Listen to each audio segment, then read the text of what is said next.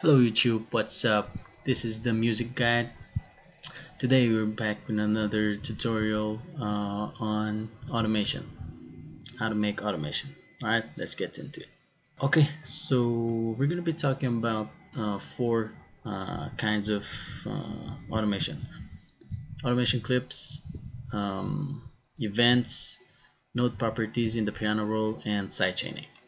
Okay, so let's start with uh, automation clips.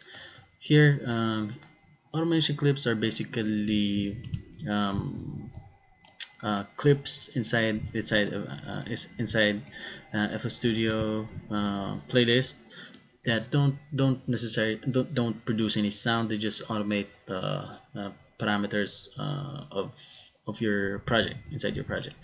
For example, in this in this case, I have I have this um, uh, this uh, automation here going going automating the filter cutoff filter cutoff of this chords that I'm playing here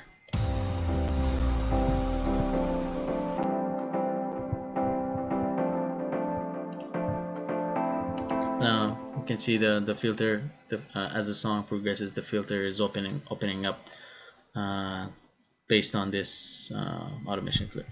So here's how you make make a new one. I'll just mute this one and make a new one. Um, go to your um, mixer mixer track uh, and then go uh, for example uh, have go to go to your filter open this filter uh, or not necessarily this filter any you can you can you can automate any parameter inside FL Studio. In this case I'm just going to automate this uh, filter cutoff frequency knob okay? So I'll just right click on this knob and click create. Alright as easy as that. So as you can see a new automation clip has been created and uh, and inserted into into the playlist so now you, we can adjust we can adjust this uh, points this nodes um, the way we like it the way we like to automate the the parameter. So I just want to open it up like like this. I just want to open the filter to open up uh, in this manner. Okay? So it's working. Uh, we can we can play it right now if you go very low it sounds like this.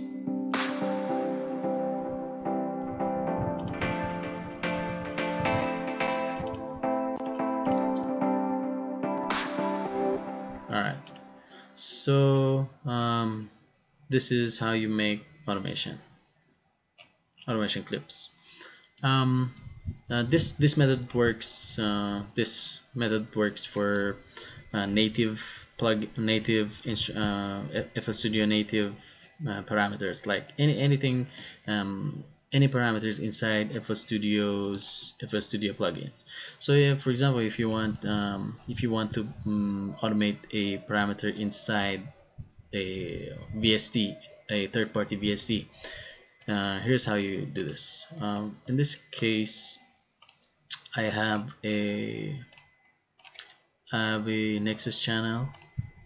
For example, I want to automate the um, volume, this volume knob inside Nexus I want to I want to uh, I want to automate this so first off you want you need to tweak it tweak it first then go to this uh, tools tab. Uh, sorry if you can't see this. Uh, OBS is not capturing this. You go to this tools tab go to the last tweaked last tweak last sorry last tweak then go to then click on create automation clip okay so now um, we have we have created a new automation clip for for this uh, Nexus volume knob we can now play with it as like this.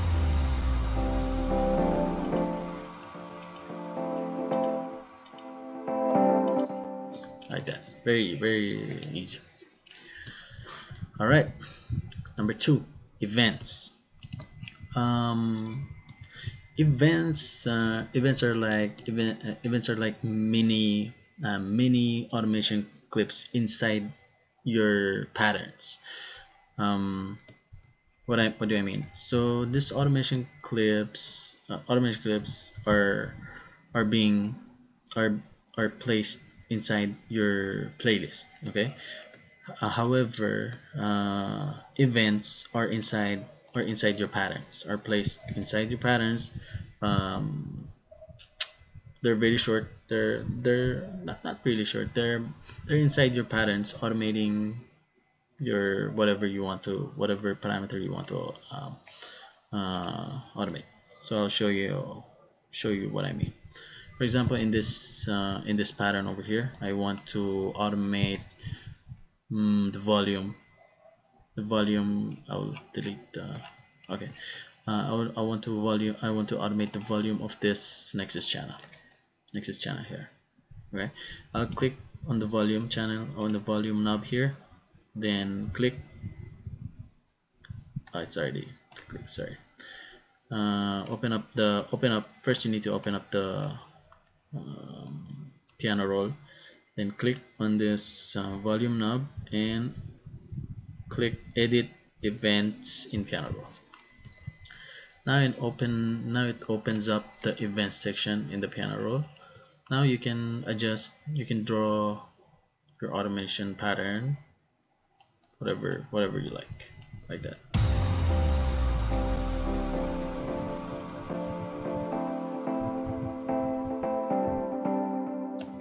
is actually a very easy and fast way of adding automation inside your in, inside your patterns so you don't you don't have to create a long ass um, automation clip and and uh, you know make a mess inside your playlist clutter uh, clutter your playlist. So it's this very easy very and very neat.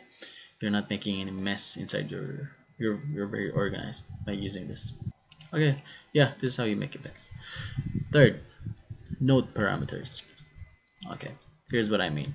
So note parameters are um, are like are similar to events. Uh, they're inside your you're automating note properties inside your pattern. Uh, I'll show you an example. Okay for for example you want um, uh, here inside not, not here. Mm, I have a I have a, um, a snare roll going on here. I have a snare roll inside the inside my uh, inside the track inside this uh, project. Sounds like this.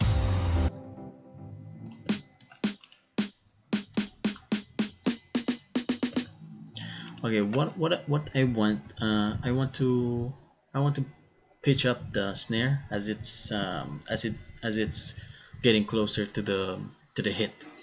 So I, want I want I want the snare to pitch up. Okay here's how you do it. Uh, go to this uh, like this. Go to the pattern go to the pattern pattern that uh, you uh, this that the um, snare roll is in. Then open up uh, open up the piano roll. Okay. Then here you may okay.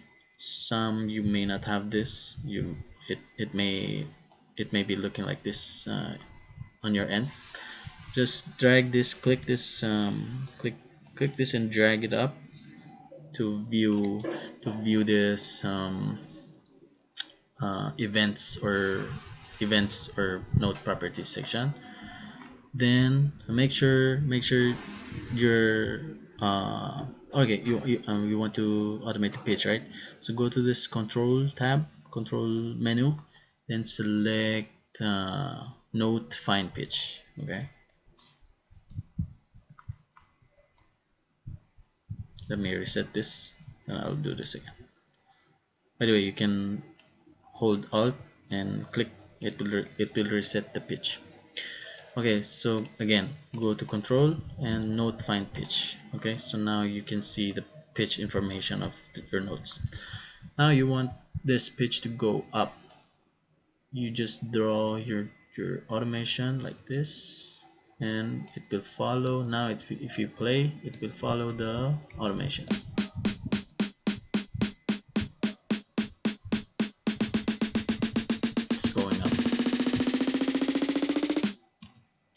without automation it sounds like this.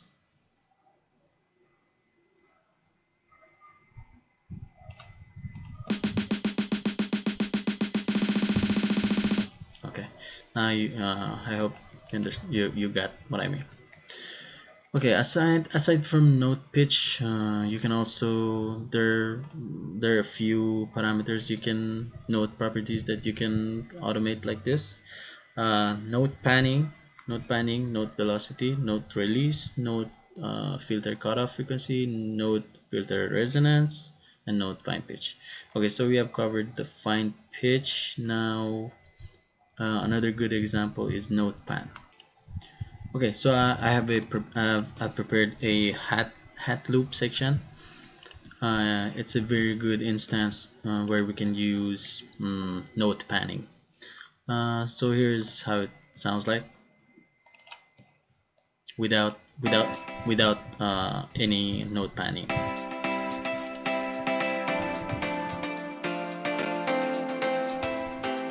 now if you want to uh, if you want to um, pan the pan left and pan left and right the uh, hi-hats so we get a get a feel that it's uh, the hats is moving moving around uh, the stereo field.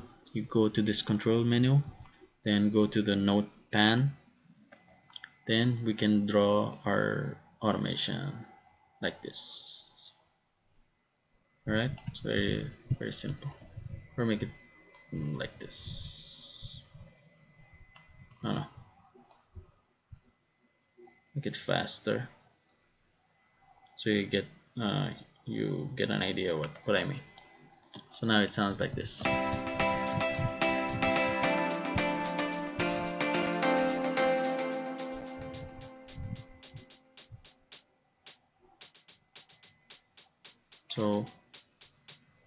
it's moving from left to right like this. So it's very, very you can easily create that uh, moving around stereo field effect.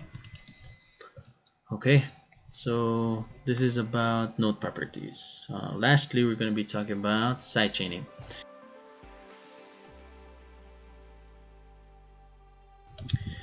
Alright that's it. That's it for now.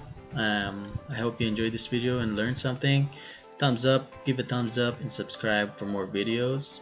Alright thanks thank you very much for watching. See you on my next video